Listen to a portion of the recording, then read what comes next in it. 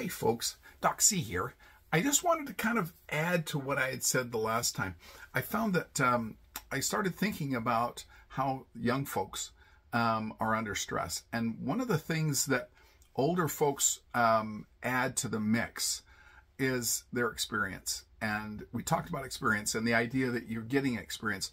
And not a lot of people don't realize how important experience can be. Um, there's an old story about the Second World War, and there were um, times where U-boats would sink a ship, but a lot of the people that were um, left after were on these um, rafts, like either they're a rubber raft or a boat or life life raft, but a lot of them were hanging on to these. And some in some cases they were just having to hang on and and try to tread water, and they're trying to survive and uh, sometimes sharks would come in.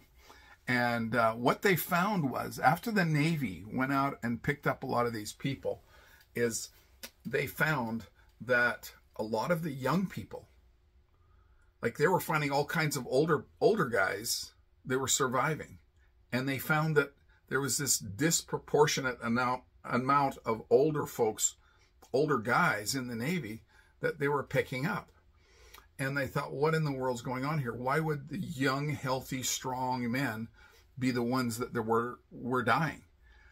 And what they ended up finding was is that they were giving up. The young people were giving up because they were they'd never been through things to tell them you can make it through this. And they hadn't been through enough in their lives and and it scared them. It made them feel like, oh, you know, you're sitting out in the middle of nowhere. Are they ever going to find us? And uh, that ate them up, and it made them fear, and it made you know them become weak, and they gave up. And uh, I kind of look at that, and I think um, that's a lot like life. You know, some people, if they have enough, haven't had enough experiences, um, now, the experiences that those men, those older men, had been through, you have to remember it was hard times because the Second World War was in the 40s. What was right before that was the dirty 30s. So a lot of these men had been through nasty things. They'd been through tough times, really tough times, scraping the bottle, the bottom of the barrel times. Um, so when people are been through tough times and they've learned to survive and they've learned, you know what, I will survive. I'll get through this. You know, this too will pass. And that ability to be able to say this too will pass and I will be able to, you know, we'll move on and we'll we'll do better. To have the faith in the, the future is very, very powerful. People have no idea. I mean, if you look in, in the economy um, and you talk to experts, they'll tell you that when people have positive feeling about the future, they go out and spend.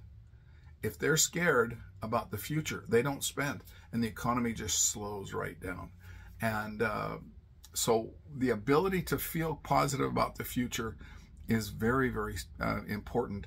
And I just want to let you know, um, sometimes the things that we go through, again, um, can can be to our betterment. Sometimes when we're going through them, it feels like garbage. It feels like, why do I have to put up with this? Why me?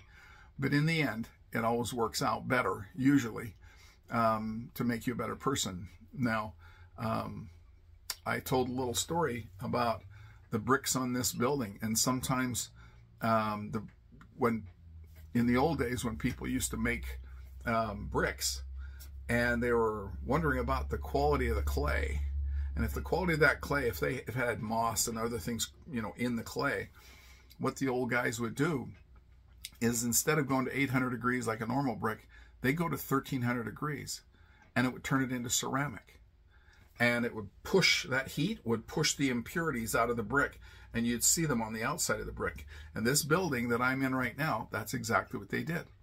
They pushed the temperature up. So they turned all this brick into ceramic and it's really hard to drill.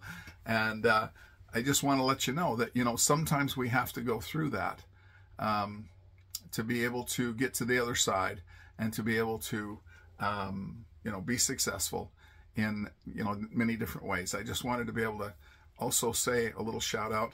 Um, it's my 43rd wedding anniversary, so I just want to say happy anniversary to my um, beautiful bride, and uh, Remember, always remember, Santa says, and if you like what we say, tell others. If you don't, tell me. Try to subscribe as well. Take care.